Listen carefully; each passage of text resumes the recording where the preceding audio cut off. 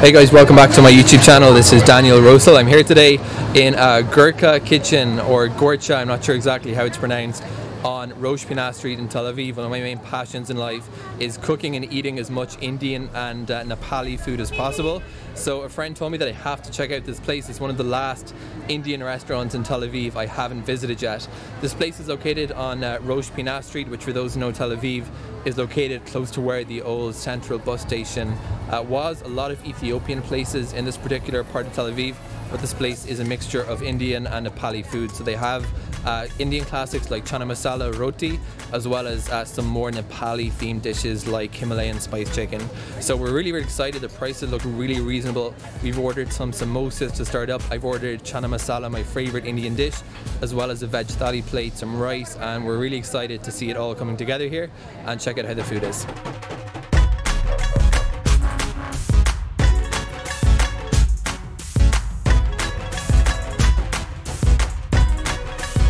Live and show you. Nearly close. This is very fresh is this? samosa. Samosa? Yeah, samosa. This is very fresh samosa. Yeah, on fire. This is momo, momo pots. Yep. Yeah, momo pot. We are preparing here like mutton, like mutton, boiling mutton. Preparing mutton now. Lamb. This is tandoor.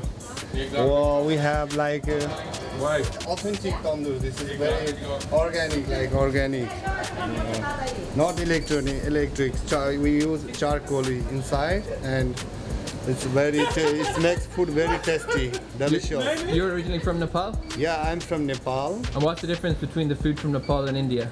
Uh, there is not so far different. We have very similar food between India and Nepal. Like North Indian and uh, Nepalese food are most similar. There are very food, very, lots of foods are different, but we don't have that different foods here. Okay. We have very few items in our restaurant, which is Israeli people love to eat. They will enjoy it in our restaurant. That items are available in our restaurant. Thank you. Namaskar. So our first course, the uh, samosa, has just arrived. As Tanjeen, who's originally from Nepal, now living in Israel, was saying, um, this is uh, one of they make it by hand here every single day. Samosa, for those who haven't had the pleasure, is a big pastry thing like this, uh, very delicate thing, and you can just tell if you've had Indian food before and it's your first try, first time eating in a Nepali restaurant, you're in for such a treat. The differences in spicing are very subtle but very significant. So so far, based on the starter, this is number one. Of course, I do mention all my videos if you're eating in Israel. A lot of people do keep kosher. This place doesn't have kosher certification, uh, but lots of vegetarian options if that's your style. And uh, so far, it's really tasty.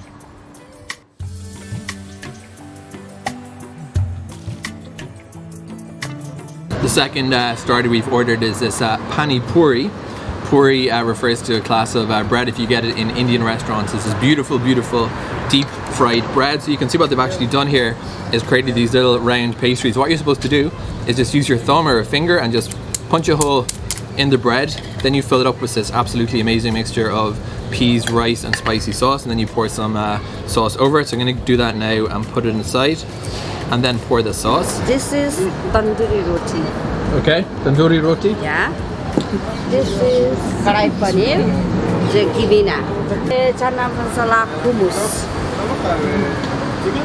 Here is uh, best Thali paneer. The thali, the orange, mango pickle, adasim, tapah kadama kobi, salad, papad. it's yummy. Oh, this looks yummy. we just got our main course here. I got the uh, thali platter. It's got some red dal, got some uh, rice, got some uh, papad, also known as papadam. Also ordered the, um, chana masala. So it looks like a nice chana masala, really, really tasty. And we got two different types of bread. We got firstly uh, roti here, uh, which is wholemeal flour bread cooked in the tanur. And uh, secondly, we have uh, naan bread as well a couple more dishes and so far everything's been really really good and the prices are pretty reasonable. So if you're looking for a really nice place in Tel Aviv to try some uh, Nepali food they don't unfortunately have aloo bolitama which is one of the signature Nepalese dishes but they do have some really other delicious things on the menu.